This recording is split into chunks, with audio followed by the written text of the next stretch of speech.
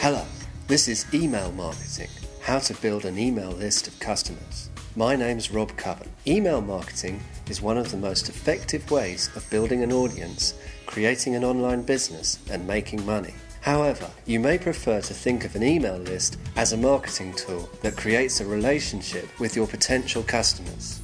An email list is an asset for your business. Many experienced marketing professionals agree. Corbett Barr from Think Traffic says if you aren't building an email list, you're missing out on the most powerful and consistent way to drive repeat visitors and customers to your website. In the course, I'll explain the importance of thinking of your email list as a collection of people rather than a collection of addresses, or even worse, just a way to make money. I won't be recommending that you constantly spam your list with multiple sales emails. Instead, I'll tell you about the importance of an offer and how often and how much you should give away for free. I'll explain about incentives and lead magnets. I'll introduce you to the squeeze page and show you how to make one. I'll show you the best ways to create sign up forms and where to put them on your website.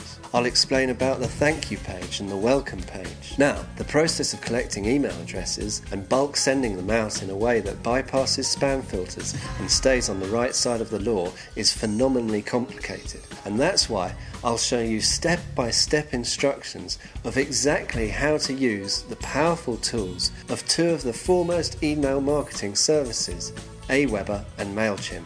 I'll also show you about email messages, the different types you can send, how to send them, when to send them, and the best ways of writing effective emails to drive traffic and sales. Many online businesses focus incorrectly on social media, whereas email marketing provides a much better return on your time investment. Another great internet marketer, Glen Allsopp from Viperchill.com, says email subscribers are more likely to buy your products than any other type of audience. I'll show you how to focus on providing value and engaging subscribers so that email marketing will bring you success for your business.